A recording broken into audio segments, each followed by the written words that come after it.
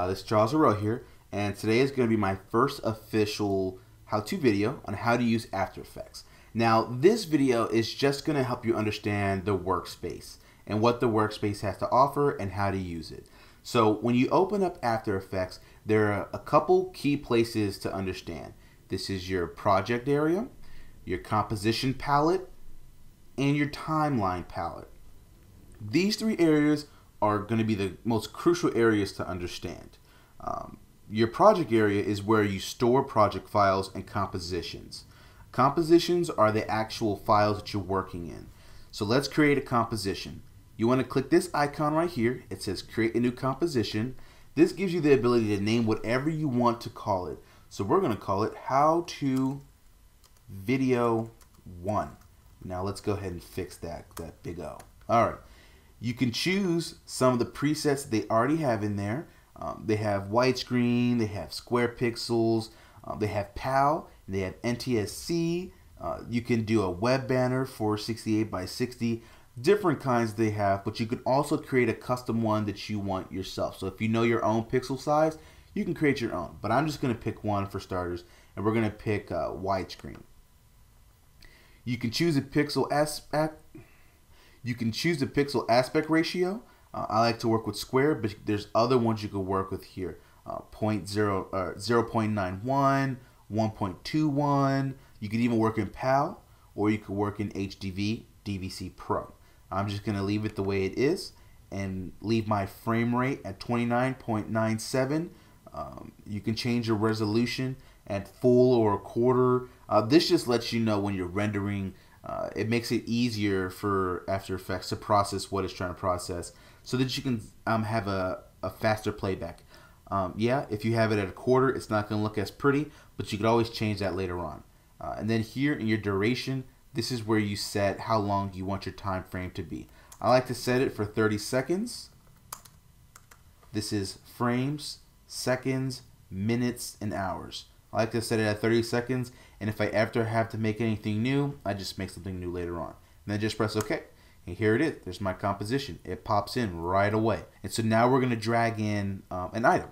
You want to go to my desktop, bring in an actual image that I created in After Effects, and you can see here the icon of the image actually pops up in a little thumbnail. And it says the name, coming soon, JPEG, and the size. Um, and it, it shows up in your project file, so it's easy to find. So the next thing you want to do is now that we have a composition, well, how do we get the picture inside the composition? Well, it's great. You just click and drag the image either down here in your timeline, or you can grab it and put it straight into the composition itself. So we'll just drag and drop it right there, and there you go. Now we have an image inside of our timeline. So next thing we want to do is try to figure out how can we manipulate that. Well, up here in your toolbar, you have your selection tool, your hand tool, your zoom tool, your camera tools, your uh, masking tools, which is rectangle tool and your pen tool.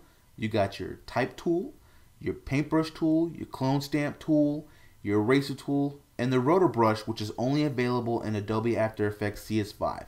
So if you don't have CS5, I recommend getting it as soon as you can because rotoscoping is extremely fun and easy once you get the hang of it. It's a lot easier than keyframing. Okay, so now that we have it in here, um, let's say we want to get rid of half of it. You have all these cool little effects that you can use, um, like using the rectangle tool. You could choose to do the rectangle. If you click and hold this button, you could use rectangle, rounded rectangle, ellipse tool, polygon, or even star. I'm just going to stick with the rectangle tool. This is a masking tool that allows you to either A, get rid of pieces, or add pieces to an existing picture. So while selecting the layer, if I click and drag a box over top of the layer, you can see it's allowing me to keep whatever part of the image I want based on how big the box is. So let's say I want half, and then I just click out of it, boom, I just masked half of the picture. Let's go ahead and undo that. You want to go to edit and then undo rectangle or press command Z. Now I'm using a Mac, okay? Or just use the pen tool. If I select the layer, you can actually just start clicking away on the layer.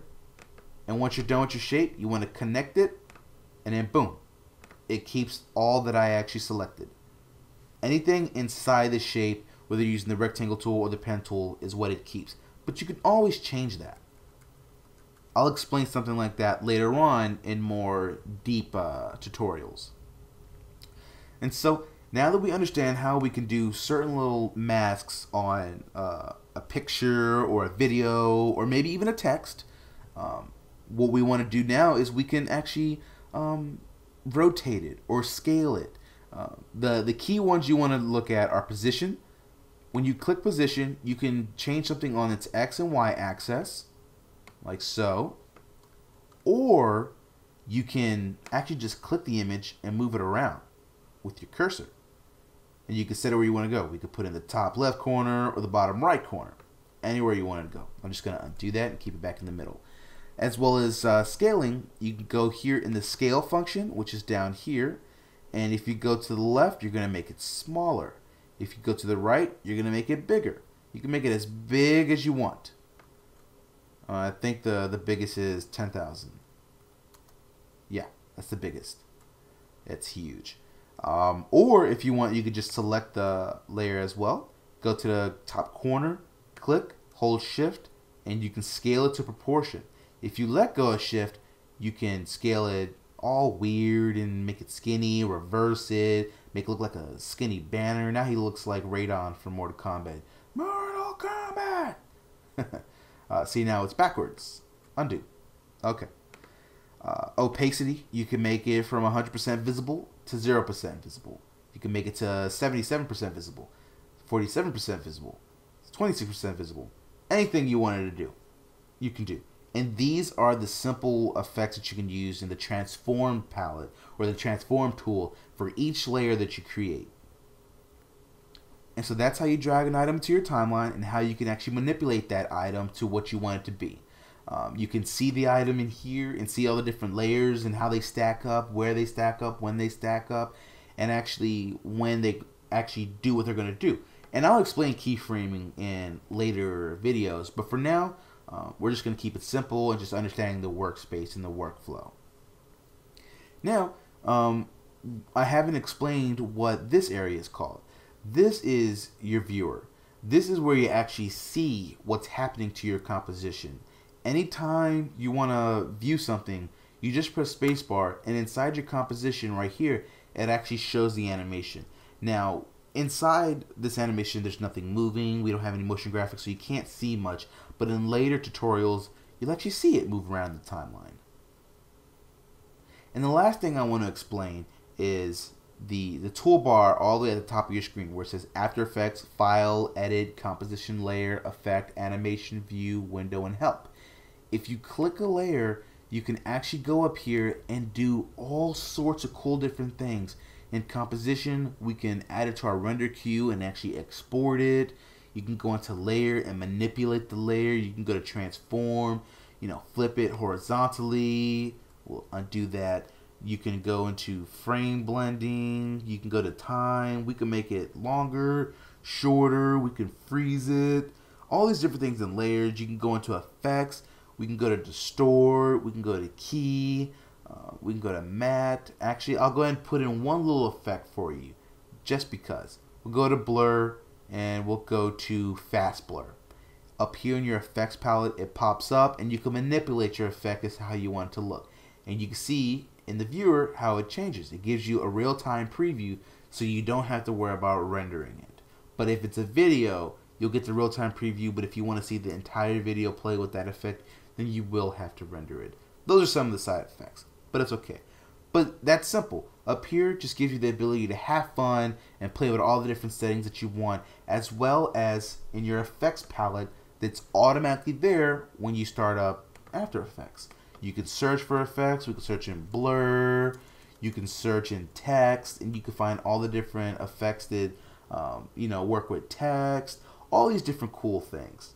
Um, and so that's After Effects in a nutshell. I, I hope you enjoyed this tutorial. If you have any questions, anything you want to learn, please send me a message or send me an email at contact at charlesheureaux.com. I am more than willing to help you out with whatever you want to learn, and I would love to know what you want to learn. So for the future, I can implement that in my how-to videos. Thank you and have a good one.